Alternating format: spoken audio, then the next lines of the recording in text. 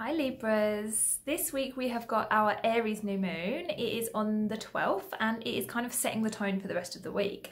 It is our first new moon of the astrological year. So this is basically setting the tone for the next 12 months. It's like our 1st of January. So you can set intentions at this time, um, you can make plans, you can do New Year's resolutions, um, whatever it is that you feel drawn to do. And I am going to do something a little bit different this week. I'm going to give you some personal tips on how to manifest or how to unblock yourself from manifesting the things that you want to achieve or to bring in over the next 12 months.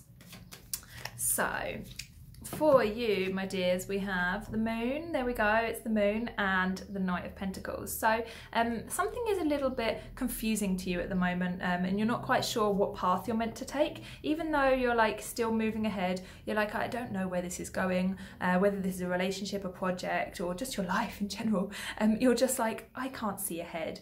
Obviously, none of us can ever see ahead, but for you in particular, it's a little bit foggy. What you really need to do at the moment to um, manifest what it is that you want is to just be patient and to keep taking methodical steps forwards. So if this is work, then it's kind of easy to decipher that. You just keep taking action don't push yourself, don't take too many risks, don't change course, just keep moving forwards pace yourself, right? Just do what it is that you're doing, your routine, your structure, your um, persistent, consistent action.